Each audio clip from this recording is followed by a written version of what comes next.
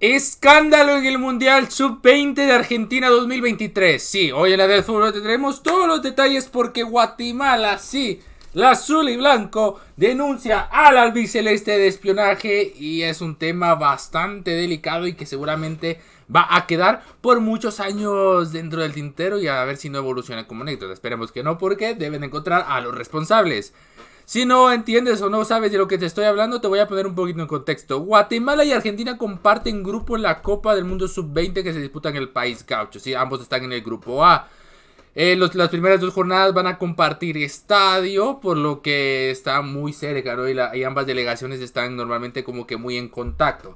Durante la primera jornada, Guatemala se enfrentó en el primer partido del torneo a Nueva Zelanda y horas después Argentina iba a enfrentar a la selección de Uzbekistán. Mientras Guatemala sí se encontraba jugando ante Nueva Zelanda en su debut, que para infortunio nacional terminamos perdiendo 1 a 0, un partido que teníamos que haber ganado, llegamos con la ilusión porque era un rival que ya se le había ganado en un amistoso y además ganarle significaba también casi que estar en segunda fase. Mientras se jugaba el partido, un miembro de la delegación de Argentina, si alguien que está acreditado por FIFA para estar dentro de todo este movimiento del Mundial, se coló dentro del vestuario de Guatemala y grabó, sí, grabó las tácticas que había dejado el cuerpo técnico de Rafael Oredo, que en ese momento no estaba en el vestuario claramente porque estaba dirigiendo el partido en el Estadio Único Madre de Ciudades. Esto parece algo...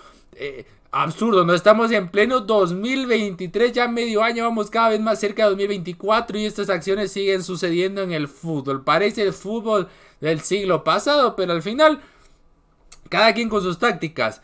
Lo que sucede es que cuando se encuentra eso, para buena suerte de Guatemala, mientras, o sea, buena suerte entre comillas, no, mientras la persona que estaba grabando estaba ahí haciendo lo que viene a ser la trampa, alguien de Guatemala logró tomar evidencia, ya sea foto video de esta persona que estaba dentro del, del vestuario de Guatemala haciéndolo la trampa, ¿no? Grabando. Y que hasta el momento no se sabe, porque no se han dicho nombres, si forma parte del cuerpo técnico de, de la Argentina, si es de la delegación, si es periodista argentino. No se sabe muy bien en sí quién era, pero sí que era de la delegación argentina como tal, no o sea, un argentino estamos hablando.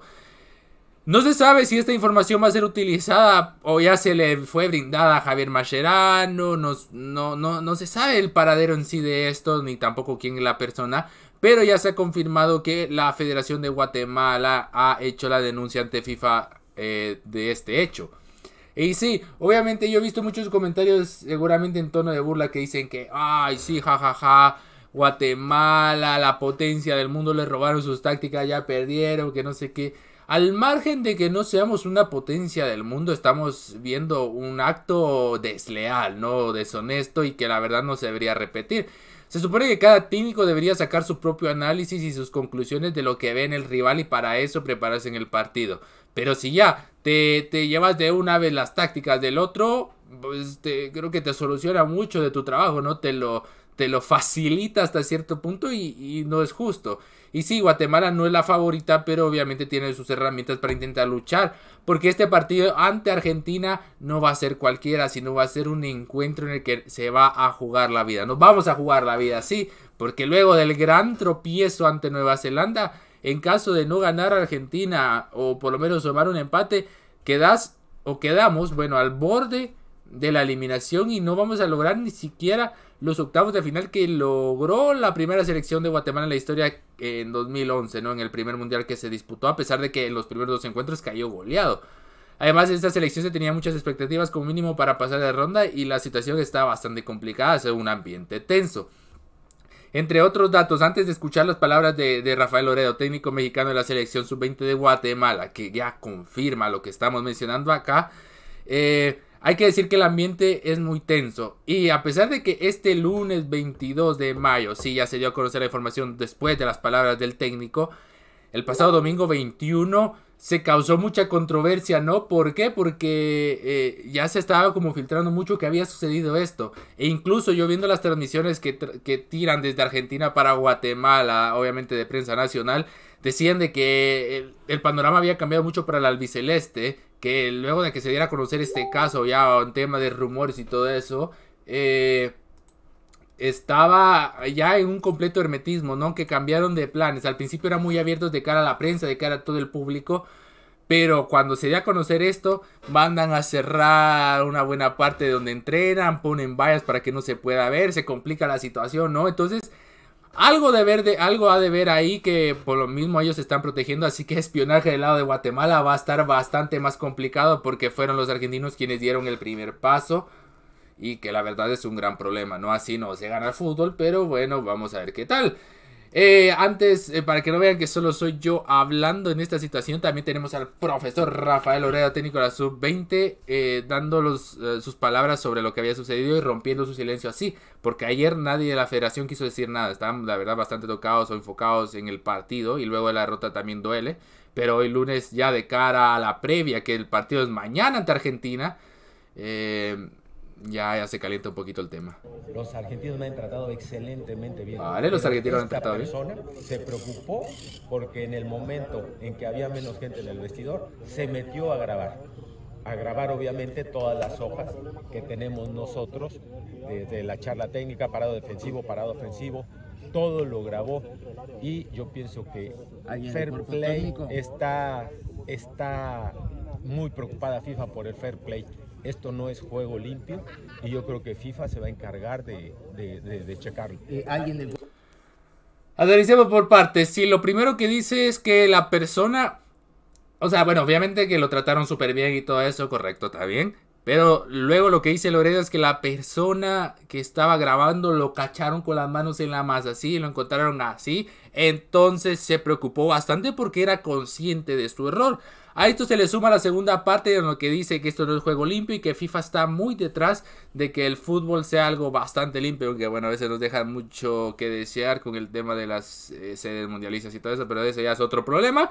Este, pero con esto también confirma que ya se ha hecho la denuncia hacia la FIFA, ¿no? Porque dice ellos van a tener que actuar con el, conforme al tema. Entonces, Cuidado que los próximos días se puede dar un comunicado. Hasta el momento ni la Federación de Guatemala ni la AFA han expresado algún comunicado acerca de esto y sino que ha sido el mismo Rafael Oredo quien ha roto el silencio de lo que ha sucedido. Así que escuchemos la última parte.